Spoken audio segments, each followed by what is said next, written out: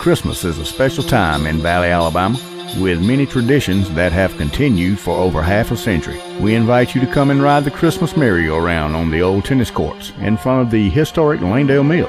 Visit the nativity scene in the meadow in front of Valley City Hall and ride by the Madonna and Child in lights on Highway 29. The City of Valley wishes you a Christmas full of joy, cheer, and wonderful memories with family and friends, and a new year full of happiness, hope, and promise. Merry Christmas from the City of Valley.